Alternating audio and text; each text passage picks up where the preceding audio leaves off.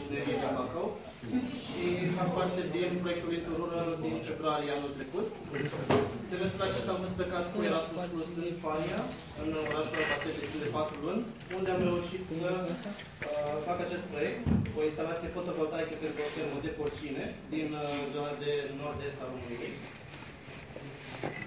Ca și obiectiv ale proiectului, este, un obiectiv este acela de a furniza informațiile necesare pentru a aplica uh, un sistem fotovoltaic capabil să uh, ofere energia necesară pentru o fermă de porci din uh, zona Slatina, din județul uh, Suceava, uh, o instalație de 24 de kW, Uh, iar studiul de caz ia în considerare și mai multe aspecte, printre care cea mai bună alegere pentru panourile fotovoltaice, cea mai bună alegere ca și invertor, uh, luând în cont de asemenea și situația financiară a clientului, dar și nevoile acestea.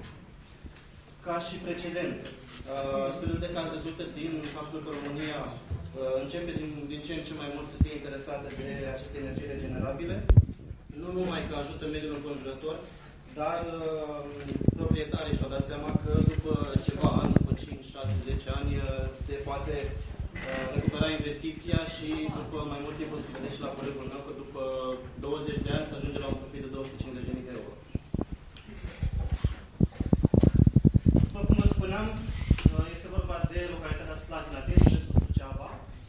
Uh, în poza din dreapta jos avem uh, ferma văzută din satelit, din 8 ferme, două deocamdată sunt cu panouri fotovoltaice uh, și este nevoie de 5 um, zile pe săptămână de, de energie.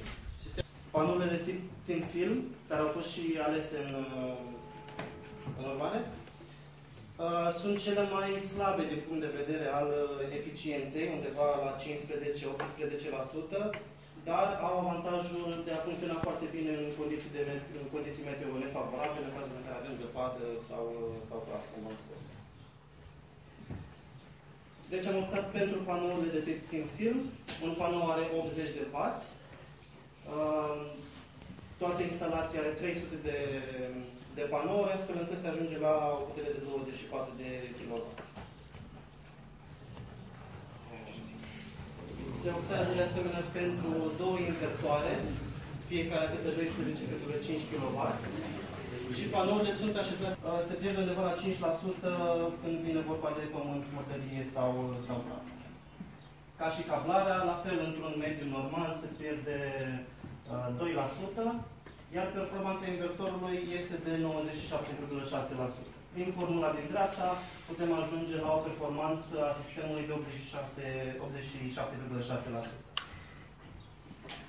Orele de soare sunt uh, foarte importante. Uh, țara noastră nu, să spunem, în comparație cu Spania, nu are așa de multe ore solare ca și medie pe an. În România, în zona Slatina, sunt 3,22 de ore în medie.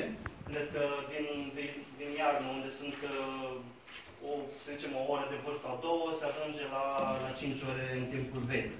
În Spania, de exemplu, în timpul verii se pot ajunge și la 8, media fiind undeva aproape dublu, 5-6 6 ore.